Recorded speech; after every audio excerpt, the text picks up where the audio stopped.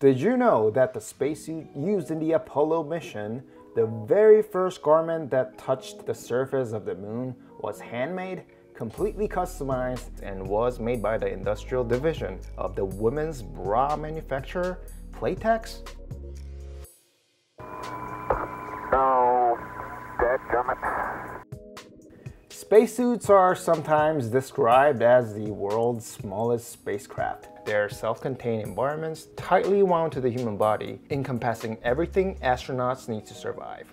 Since the Project Mercury in the early 60s, the design of spacesuits has evolved significantly. As you can imagine, there's been a lot of try and error.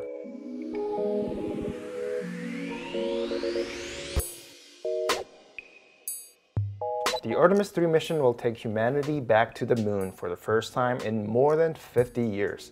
Last September, NASA picked Axiom Space to build the spacesuits that astronauts will wear when they leave their spacecraft and explore the lunar landscape. Today in Texas, NASA and Axiom Space finally showcased the prototype spacesuit that crews will use for moonwalks near the lunar South Pole, which reaches temperatures below 200 degrees Celsius or 330 degrees Fahrenheit. Creating a suit that can handle such conditions requires precision, so Axiom used 3D printing and laser cutting technology to build some components. The design can handle the extreme cold of permanently shadowed areas on the moon.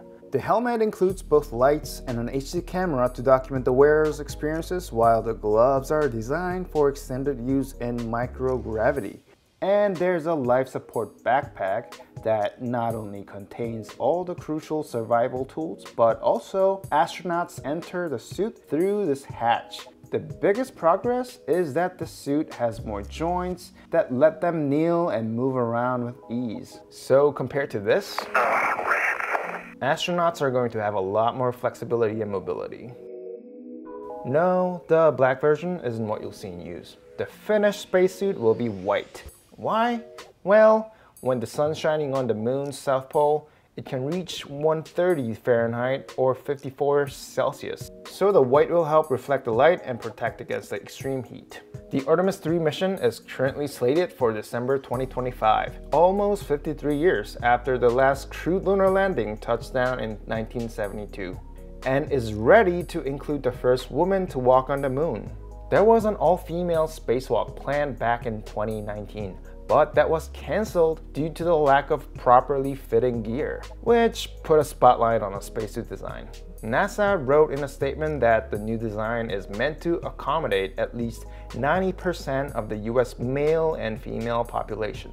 Something about that sounding like progress. Maybe. The crew for Artemis 3 has not yet been named, but NASA has said it will include four astronauts. The two people who reach the surface will stay there for just under a week and carry out as many as four moonwalks, including rover expeditions and ice sample collection. Two other crew members will remain abroad on Orion capsule that will collect the crew when it returns using a SpaceX Starship. This spacesuit isn't necessarily the only one NASA will use moving forward. Other vendors are competing for orders that would handle future moon landings and International Space Station activities. However, it might be the highest profile example, and hopefully it'll be the one that helps NASA make history.